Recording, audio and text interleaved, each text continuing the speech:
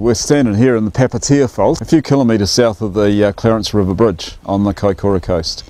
Looking here at the actually the fault plane, the plane of movement along the fault itself, where uh, this side here has moved up by about a metre and a half, and uh, we can see the gravels here and the gravels on that side.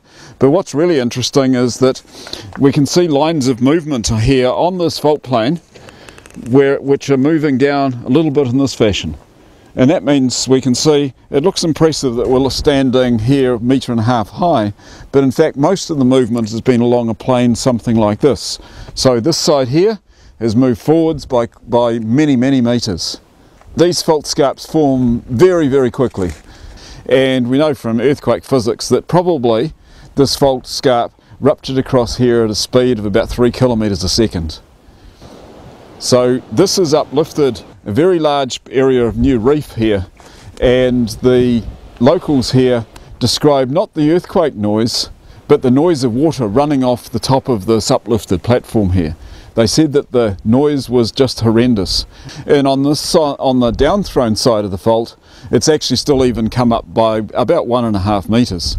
On the other side, there's as much as six metres of uplift.